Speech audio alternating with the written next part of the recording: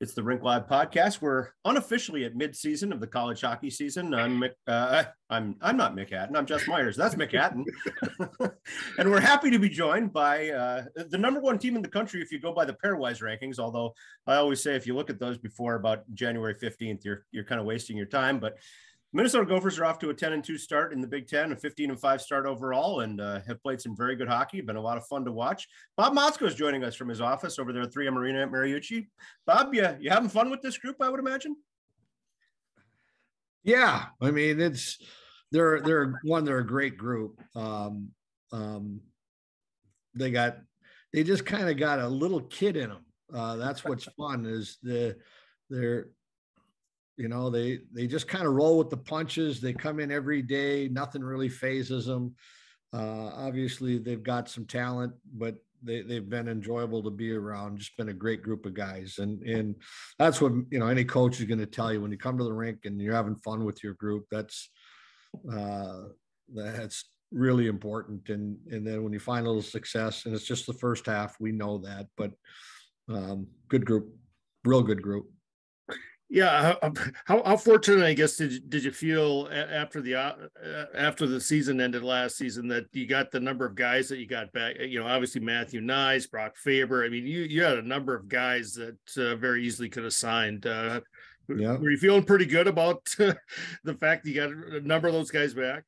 Well, yeah. I mean, it it, it you know, you never know how it's going to go uh, because it, you know, I've always said at the end of a year, right when your season, it takes on its own life mm-hmm. because you you have no control as a coach of what's being said behind the scenes, you know, parents, advisors, you know, the NHL teams. And and I don't have a lot of, you know, my, my talk with the players and my meetings all happen long before the end of the season. I, I don't have any meetings. I just sit back and wait. And and uh, but I think the greatest, you know, testament to it is that these families and these young players trusted our program and felt that they were in the right spot to stay. And and you know Ryan Johnson and and Jackson LaCombe and and Brock Faber and Matthew Knies, of course, and and uh, the fact that they chose to stay around, we you know that was a compliment to our, our program and all the people involved in our program and and uh, and I and I truly believe that you know you looked at the Stanley Cup playoffs last year in the last I, I might be off on my numbers a little bit the last four teams playing there were only you know like six players under 22 and and five of them were 22 you know Brock Faber turned 20 this summer. Uh, mm-hmm. you know it sure is not going to hurt it, it's not hurting any of their careers. Um, and and I hope reversing that, I hope it's helping their career uh, to advance quit more, you know, to get them into a faster point uh, or faster spot to play in the National Hockey League one day. But yeah, was I happy? Uh, our whole team, everybody was excited about that. And and did we think we were getting all three of those defensemen back? Not a chance. Um, the over under was on one, let alone three. But um, uh, and that is a big reason why we are uh, our team is sitting the way it's sitting here at the at the break. It's because those those you know that group of players chosen to come back, and they really give us you know not just great hockey players, but great leadership and great heart and great character. You talk about older guys making their NHL debut. That that segues perfectly into the next thing I was going to ask you, Bob. Uh, Sammy Walker played his first NHL game Saturday. He played his first home game uh, Monday night a, against Edmonton. Talking to Dean Evason, his coach, they've raved about his maturity, the way he's handled himself on the ice and off the ice. And one thing Dean Evason said is he's not a 19 year old kid. He's 23 years old, starting his NHL career at that point. Obviously, you know, he's seeing, I would imagine, some of the things you saw in Sammy as a as a three year captain for your team. Well, there's there's two things about Sammy is is one he can skate. I mean, he he is an elite skater, and two, he is a competitor and and that's the quiet thing behind you know that, that when we talk to anybody and talk to the wild that that he's a tough customer and he, he he's uh, he's a competitor. And if you can skate you compete like that you know and then of course he's got talent um, you know i know it's just two games but he's looked awful good in there and and we're awful proud and very happy for him uh, Jimmy Snuggerud and, and Logan Cooley obviously have had big impacts on on your team. Uh, you know, here in, in the early going. I, I know you you used to t- tell me all the time that 14 points was was was a good freshman season, and uh, these guys are obviously off to a much better start than that. Uh, were were you anticipating, I guess, that they were going to be this good this early? Um, 14 points is a good freshman year. Yeah. You know, I, I, you know, if they get to 20, I think that's a that's an excellent year. But there's no question that these two players, you know, first round draft picks, they're going to have, they're that they're that for a reason. Um, mm-hmm. But freshmen, it's all about confidence and getting comfortable. And it doesn't matter if you're playing at Minnesota or Duluth or North Dakota or Clarkson or wherever you are you know, freshmen all come and arrive at different points uh, to get to their game. And I'll give you an example is, is like Snuggerud gets a hat trick a second game of the year. Mm-hmm. Well, uh, it's a second or third game of the year. Third, third, well, third game. Yeah, immediately when that happens, the you're in a good spot. Like you feel good about your your game and you can go forward. And I, you know, that's what all of us coaches wish that we could just bottle up that that we had a bottle of that confidence that you could just give them a little sip and it's there. But it in it happens at different times. So Jimmy found it very quickly. Uh, now Logan was playing great early, but he didn't. If he had one point, he was mad because he wanted five points, and and and I'm, I'm just and it's really been in the last few weeks that Logan really has settled in, and we're starting to see the the the, the greatness that Logan has. But he kind of carried frustration early in the year and, and was looking around the corner and waiting for it to happen. But we could see it, and we would just smile with him and go, "Just wait, it's going to come." Like, and now he's got a smile on his face. Um, and he he settled in now, and it took a little little longer. We, you know, Knies that we call it Knies the big bully.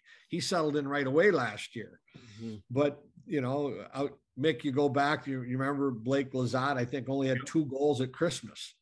And, you know, we all joked, you know, he was kicking the dog at home and was pissed and, you know, very angry and not happy. And then the second half, he rips it up and a year, you know, a year and a half later is in the NHL. Yeah. Uh, that's the thing we coaches watch these young kids go through because they all want to solve the Rubik's Cube. They all want to solve the puzzle right away. Yeah. It takes a little time, but these are two awful special players. And we got to, we actually got a pile more of young guys that are really uh, impactful for us and, and are going to even be more impactful the second half. But, but those two are having terrific first halves and, and it's only going to continue. Logan Cooley was the Big Ten's number two star of the week last week after what he did against Michigan State. As we're speaking, our friend Scott Slark sends me an email that Logan Cooley is the number one star in the Big Ten this week after the, the weekend he had against Wisconsin. So uh, not not a lot of question about his game or, or you know the, meeting the expectations a lot of people had for him. And uh, so let's talk about Cooley, Snuggerud, Luke Mittelstadt, Ryan Chesley. All of them are in Michigan right now trying out for the World Juniors. This is an area where you have a lot of expertise, and we wanted to kind of pick your brain about some of your World Juniors experience. You've been an assistant coach, uh, I know, under Bob, uh, excuse me, under Don Lucia, and then uh, a head coach on a couple of teams, one of which won a gold medal. Just how much does this kind of time of year kind of take you back to those experiences, Bob? Well, it's it it's not it's just it'll come up and once we really get to the holiday and it starts in christmas. I mean the world junior tournament is fabulous. I mean it's it to me the outside of the olympic it's the greatest tournament in hockey uh, um, international uh, from an international standpoint. And and it's what's great for the us we've just watched the development of, of usa hockey to uh, you know, all all orchestrated, I really believe, by Jim Johannson, uh, who was just inducted into the uh, the U.S. Hockey Hall of Fame, and what a terrific job. But you go back not that long ago, that you know the U.S. in the and, and you talk to older players, and I mean older, 20 years ago, you know, they were just maybe they could get a sniff at a medal you know, and it wasn't even on the radar. And now the expectations are only to medal and and and to play for the gold. And that's what's great for USA and, and the and the growth we've had in our sport uh, at just a uh, you know, it's been a comet how US I think has grown in in hockey, and we're all benefiting from it. But it's a great tournament. What an opportunity for four of our guys to have the opportunity. I know they they've got to cut some guys down uh, before they get up to up to Canada, but um, we're, we can't wait to watch, and it's it's always a, a great tournament. So, so when you get you get asked to, to be the head coach of, of, of that team, what what's kind of next? I mean, do, do you have a, a, lot of say, all the say in, in the the staff? How, how does that? What's the process like from the time that you kind of get named the coach and, and you know on there? Well, I, I mean, I the only GM I worked with was was JJ, and yes, he he gives you uh, uh, you work together on the staff you want to put together, and and uh, you know the puzzle that you want to solve there and that went very quickly. So both years i had the exact same staff and and um, with uh, grant Potulny and greg brown and, and chris mayotte and and obviously killer steve miller uh, um, great staff and fun fun guys to be around. And then it, then then jj has his staff uh, uh, from the player side and the player procurement side and and you all kind of work hand in hand um, you know to work to the you know it's a process. It's just not one person is going to make a decision and, and you have to follow the process and the process started last summer uh, by identifying players at the camp and then it, it goes all the way till right now and uh, um, who had you know who's been playing great and and really coming on and and then you have the the camp that they're going to start. They started yesterday, I believe, uh, and then two exhibition games once they get up to to Canada um, to put the team together. And there's just not one part of it; it's the whole process that you've got to piece together. And you're and you know injuries always play a big part of it. And I haven't heard any reports on that, but I know we lost a couple guys to injuries, but that just gave opportunities for someone else. And uh, everybody's got their finger on it and it's when you got a group of people that really can collaborate with it and, and all feel a part of it, it it's pretty special.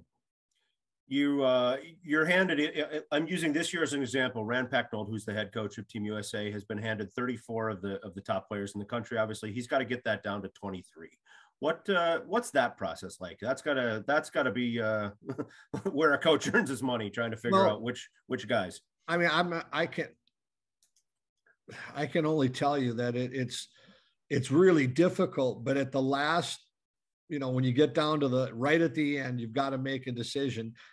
You're probably not going to go wrong with either way that you go. You know, sure. You really, you really are not. And then you're judged by the end, the end results. Uh, you know, JJ used to say when we get down to, I go, what do you think, JJ? And he'd say, well, you're the one that's got to stand at the mic. You pick. uh, um, and you know thank goodness we picked right and and the right things went our way but it's it is difficult but you just have to make the decision and, and move on quickly because then you're getting to your team in the tournament. That's uh, you can't agonize over it.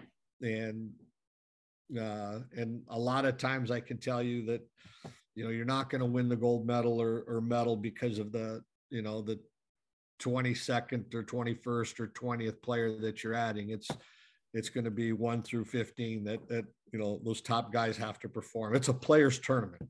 Uh, that's one thing i'll you it's not a coach's tournament it's a players tournament. So uh, you want to be healthy you want to be hitting on all strides and you want your top guys going. Yeah I, I would imagine that you know as a coach uh, you know you, now you, you turn around the turnaround on that is so quick. I mean I'm, I'm trying to imagine how you even try to get a little bit of chemistry or find out, you know, have guys kind of get to know each other a little bit before you guys even have have a game. I would imagine that's almost one of the bigger challenges. Well, they, to be honest, a lot, you know, a lot of the core of the team will have played in the in the on, with the program in the national development program, and all these guys know each other. Eh, you know that that very rarely that you've got someone there that that isn't connected to a big part of the group. You know, that's just how small our hockey world is now you know, and it started in the camp in the summer, um, you know, where they start to form those, you know, or re, you know, reestablish their, their relationships with players, form relationships. And then you're together for 25, you know, 25 to, to 30 days that you're together with this group. Um, trust me, by the end of it, you know each other, and uh, um, so that, believe it or not, that that that comes very quickly. You know, uh, following the Gophers, your your Gopher teams around the last four years, Bob. You've gone into some intimidating places. You know, Penn State is a, is a tough place to play when the crowd gets rolling. Yost Ice Arena can be, you know, a, an intimidating place. You're you're taking your team into St. Cloud next, you know, which I know is a place that's going to be fired up to to see your team. But I always think of of you in the locker room getting these players ready to face a hostile environment. I, I go back to that gold medal game in 2017 against Team Canada in Canada. And, I think, you know, if here's a guy who's led a team into a hostile situation, I can't think of one maybe more intimidating than that. Just, just what are your memories of, of, of being on the bench for that game and, and getting your team ready to play that game? Well, it, it started in the summer because Canada came to, uh, they came to, to, to play in the, you know, with Sweden and Finland, we have that summer festival and Canada came that year and Jordan, we we had some intimidating players. Jordan Greenway, um, um, Charlie McAvoy, you know, just to, just to name a couple, and tons of talent. But but but Greenway got in their head, uh, which he can. I mean, he he was intimidating, and uh, what I remember most is the gold medal game is about to start, and I started Greenway, for sure. And he kind of took two or three steps over the line and stared their bench down. And they may not want to agree to that to this day, but you know, there were there were not there weren't a lot of red, white, and blue in the stands that night. It was a lot of red and black. But Greenway put the stamp down that we're here to play tonight, and it was pretty cool to see.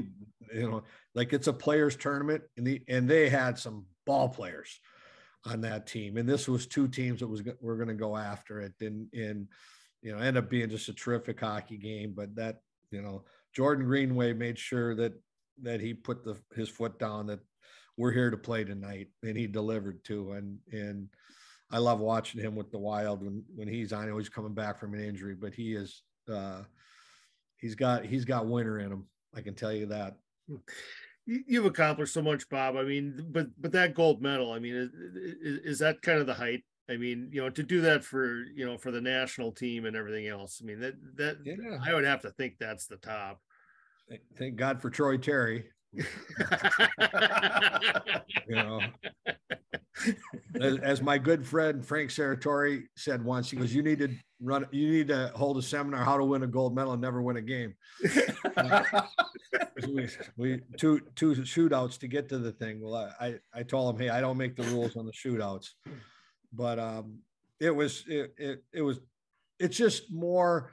Mick, I can I, yes, it was huge win, but it's the group that you're with. Like you know, mm-hmm. I'll even go from my days in St. Cloud or wherever I was an assistant or even here now. Your staff, you're you're so close mm-hmm. with your staff and the people that that work behind the scenes and and you know when you accomplish something and and so fortunate that that happened to be a gold medal uh you know you kind of carry that you you as a group carry that the rest of your life together and and uh and even if we wouldn't have won it what a special group to be around and um thank goodness we did by the way uh but it's uh it is pretty cool yeah i i can tell you it's a it's a pretty cool thing talking with Bob Motzko, the head coach of the Minnesota Golden Gophers, about uh, his team and about his experiences with World Junior Hockey. So, 2017, you win a gold medal in Canada. The next year, you came back and coached the team again. Didn't repeat as gold medalist, but you were the home team this time, playing it in, in Buffalo. And I, I've got to imagine a, a, pretty cool experience. An outdoor game at the Buffalo Bills Stadium. I, you know, there were I think sixty some thousand in attendance. What what was that like? And and and what do you think of the whole outdoor game concept? Because I'm sure the Gophers get some some offers to to play outside now and then. Well, I've kind of jokingly and seriously said I've been there, done it. Uh, you know, it was cold and you know it was a blizzard going on, so the the atmosphere uh, I think for the players and fans was was crazy because of the snow coming down and and and by the way, was, we were the home team, but we sure didn't. You know, Canada dra- travels so well. I think there there were awful lot of Canadians in the in the in the stadium that day. Uh, I was cold, and and uh, you know we won the game again on a shootout. Uh, and um, I think we had to come from behind in that one as well. Uh, but it was uh, it was a it was an experience. You could say you'd done it. Uh, I would prefer to keep hockey, you know, indoor because it's really for the fans and the and and I know the players enjoyed it. So, but when you can't have an event, if there's that much enjoyment from the fans and the players, then I, then I'm all for it. With uh, I'm kind of. I hope I've coached my last outdoor game. when it comes again, it comes again. Uh, if, if you were get get an opportunity again to, to, to do something with with uh, the national, you know, with the national team, would I, I would imagine uh, you, you would take that opportunity. Yeah. Well, I've I've I've also kind of jokingly said I hope they never ask. Because, you know, uh, I had a great run when I did it, and and I, you know, Mike Hastings is taking a run at it now, and and and Rand's getting his first crack at it. And Nate Leaman went twice, and some of these coaches that haven't had a chance. I think it's awesome too that that we keep developing coaches too and giving them that that opportunity. I'm just really forever grateful that I got the opportunity, and and if it never came my way again, I and I'm the I'm I I get as much enjoyment watching these coaches and and working with some of these coaches now and uh, as they go through their experience and being a fan. So, and I and I mean that. Um, um, but it, I just put it. I'll just end it with that. I I hope they don't ask again you can't say no. But uh, uh, but I I had a blast back uh, back home with 3M Arena at Mariucci. You're off now uh, until I believe it's the 29th. You have an exhibition game versus the U18 team. One thing, again, covering this team for the last four years, as as you've taken over the program and kind of started to grow things there or, or regrow things there um, it, it's fun. It's a fun scene every night when the doors open and the students. There's a mad rush to get the the front row seats. I mean, that's one thing that's really impressed me is the the student interest in your program has really come back, and and that whole end of the rink now it seems like is is students making a lot of noise. Just how much fun is that atmosphere? You know, you know as the home team, as as the guy that they like, you know, uh, and, and, to see that kind of uh, regrowth of interest in Gopher hockey. Well, it, what's crazy is we've talked about it is what what we've gone through here. You know, remember year two is when COVID shut us down, uh, and I remember there was a playoff game. It might have even been that year where you know Michigan and there were only, you know, there there were only sixteen hundred people in the building. It was during the state tournament, and of course that makes the the social media headway, and then COVID hit, and then uh, shut that season down and the entire next season.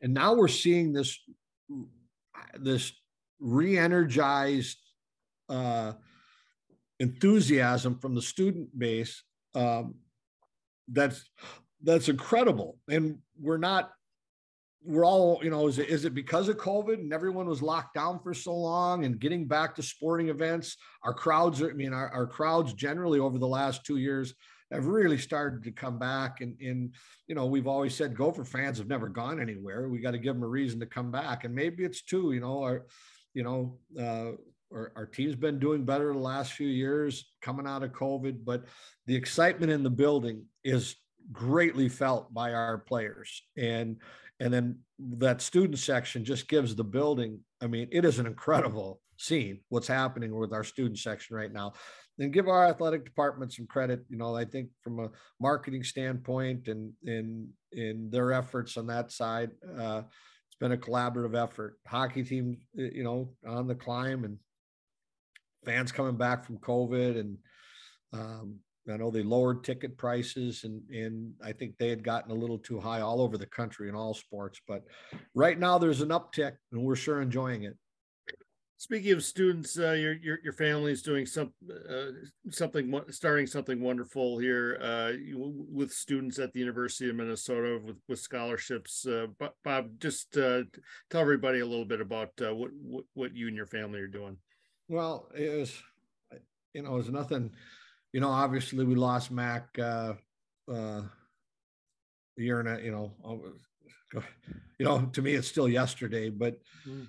he was you know, he was my pride and joy. And, you know, I got two other kids, but I was awful close with this kid. And Um, and and Mick, I know you got to know Mac, and and he was a giver. I mean, it was the the stories we've heard now since he left. But you know, as a parent, you know, you you you want to do things that that just honor his memory and keep his you know and you know there's no playbook you know that's one thing you learn when you go through losing a child. There's no manual there's no playbook but it came out when we had you know eight mac wore 18 18's been a you know there are 18 hats all over a lot of them in st cloud and bumper stickers and and was his number. And you know the we got you know we did get a, a golf a masters golf flag from tiger woods uh, because of you know the you know Mac's love for tiger and golf but 18 just a synonymous we had 18 home games this year. And then it just kind of my my wife and i were in the car and we were i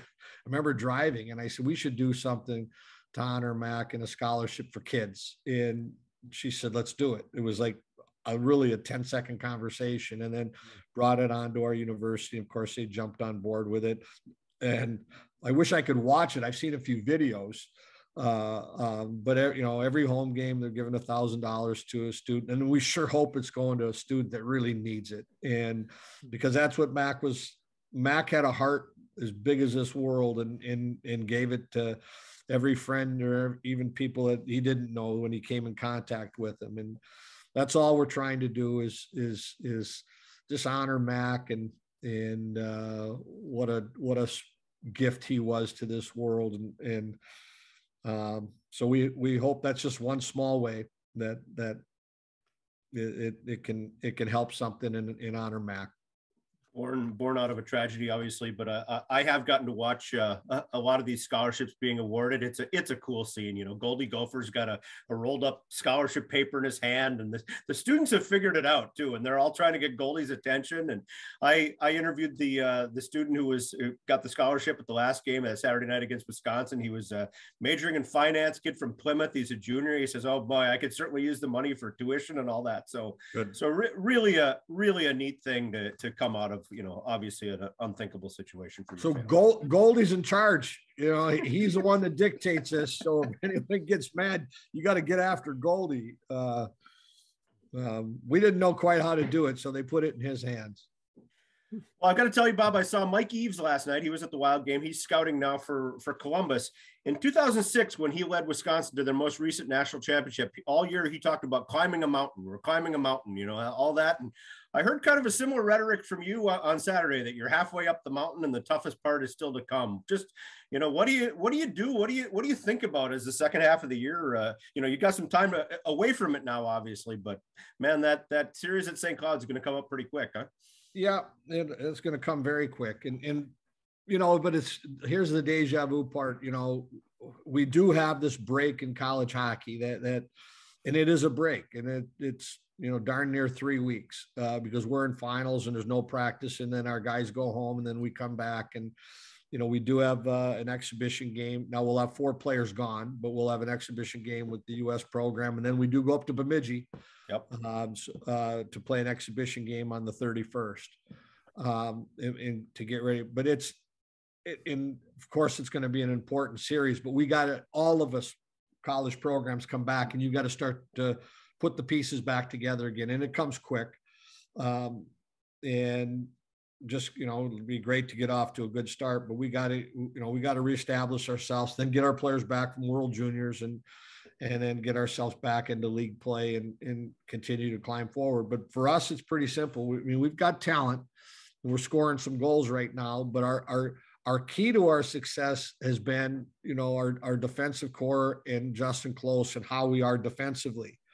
But we we we kind of let our offense dictate us sometimes and we get loose. And we that's that's our big thing the second half is, we have to know that balance between staying tight.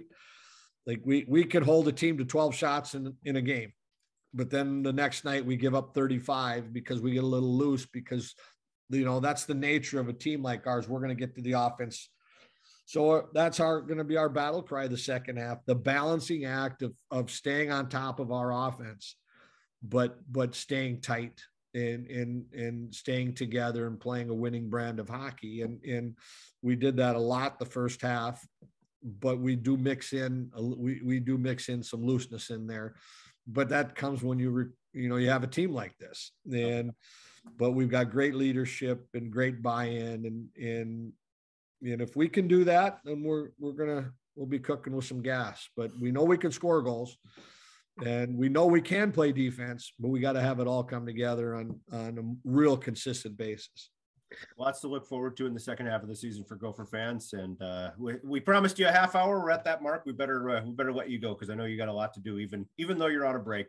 Bob Motzko, head coach of the Minnesota Golden Gophers, and uh, a longtime uh, experienced World Juniors guy. That that part of the season's coming up as well. That's Mick Hatten. I'm Jess Myers. This is the Rink Live podcast for another week. Thanks for joining us, and catch all of our content on the RinkLive.com.